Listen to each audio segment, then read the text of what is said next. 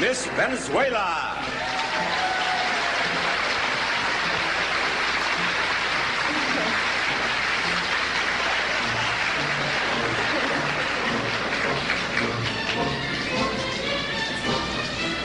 Buenas noches, mi nombre es María Antonieta, represento a Venezuela.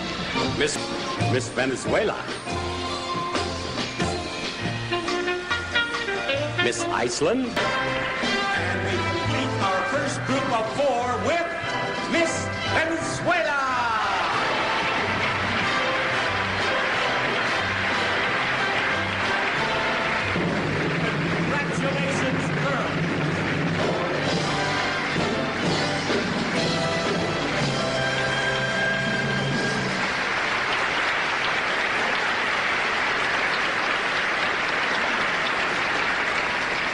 not going to believe this. I've talked with two girls, neither of whom spoke English, and Miss Venezuela does not speak English either.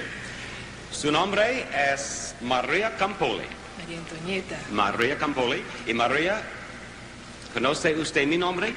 Sí, Bob Barker, Very good. Yes. ¿Y cuántos años tiene usted?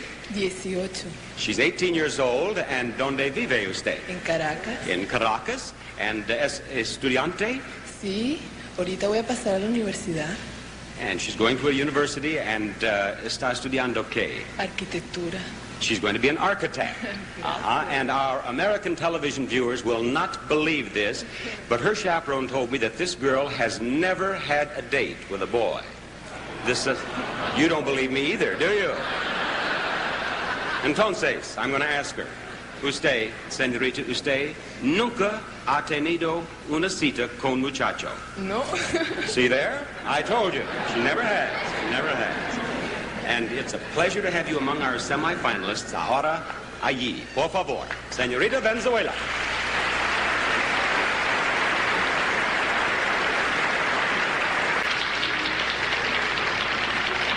Miss Venezuela. Maria Campoli. She's from Caracas. She's five feet seven inches tall and weighs 116 pounds.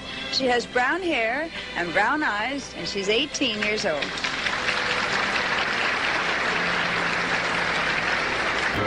Miss Venezuela.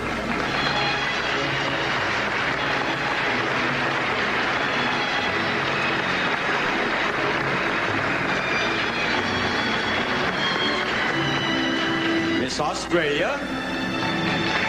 Our third finalist is Miss Venezuela.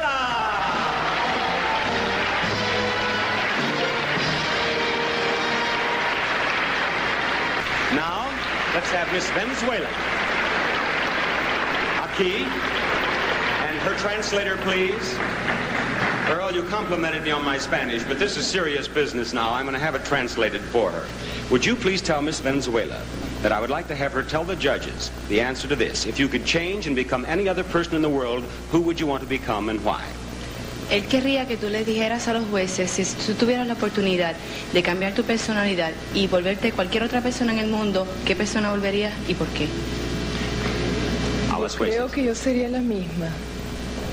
O sea, no cambiaría mi personalidad.